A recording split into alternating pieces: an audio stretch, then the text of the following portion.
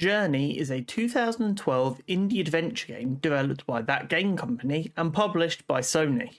It received a 92 on Metacritic, as well as winning a catalogue of awards, including, but not limited to, Game of the Year and Sound Design. The sound design was so popular it became the first video game to be nominated for a Grammy, being nominated for the Best Soundtrack for Visual Media. Journey takes place in a desolate desert. You play as a mysterious cloaked figure working your way elegantly through numerous levels heading towards the centre of an ancient city. As you work your way through these beautifully designed levels, the story of a society destroyed by conflict slowly becomes clearer as you increase your ability to call on the natural magic of this world to soar through the sky and dance to your next platform. The game is very short, taking me only 2 hours and 30 minutes to complete my playthrough. As well as this, it doesn't offer much assistance in way of learning the controls. However, this isn't an issue, as the experience is powerful despite being short and the assistance with the controls really isn't required. I found it simple enough to work out anything that wasn't explicitly explained, and once I was used to the control scheme, it very quickly began to feel natural. With no dialogue, you'd be forgiven for being worried that the game struggles to keep your attention and keep you immersed.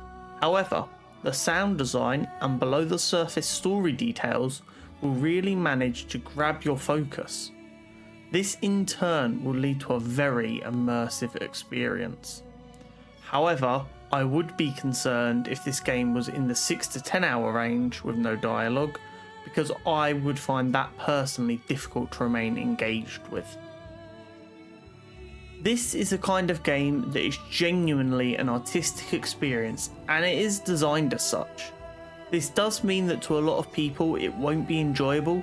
Lots of people don't view, enjoy, or interact with games as art, and therefore games that are art first tend not to be of interest to them.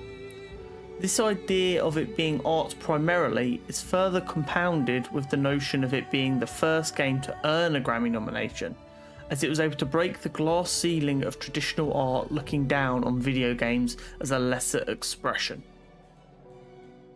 Traditionally, when reviewing a game, I would focus more on gameplay. But this is the kind of game where that feels wrong, because based on gameplay, this wouldn't be anything special, even though it is intuitive and fun. When a game so clearly wants to prioritise overall experience over any individual part of the game, it becomes far more important to view the game through that lens. To paraphrase Aristotle, the whole is far greater than the sum of its parts. By this, I mean I don't think any one thing about Journey is a uniquely brilliant or insightful decision, but when all of these parts come together, we are left with something that leaves you in awe.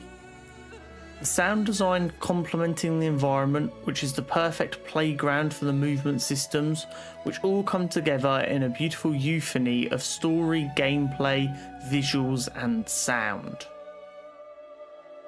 I am late to the party with Journey, but as they say, better late than never, as this was one journey that I'm glad I eventually got to take.